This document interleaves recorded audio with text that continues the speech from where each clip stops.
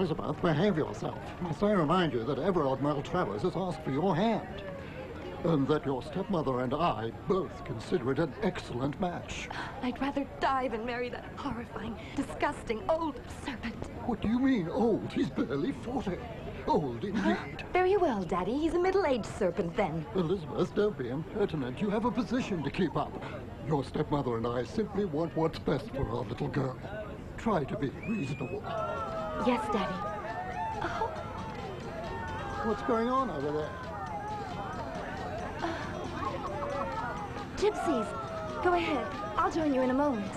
Disgusting exhibition, I say.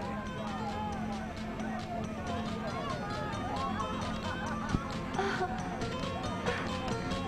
Come on, Smiley. Let's give the folks a show.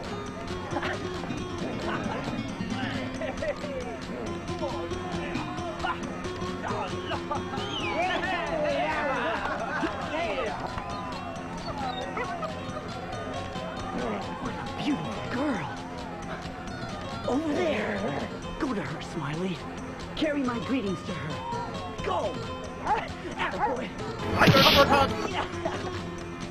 Pay no attention to that vulgar beast, Lucifer, darling. Your Grace. I mean, I'm sorry, Grace. Cretin. Come here, boy. Good boy.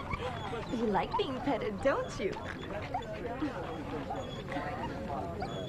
Patient. Let me take my gloves off.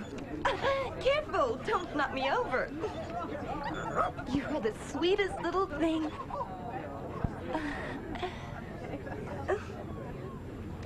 Oh, what a lovely soft coat you have.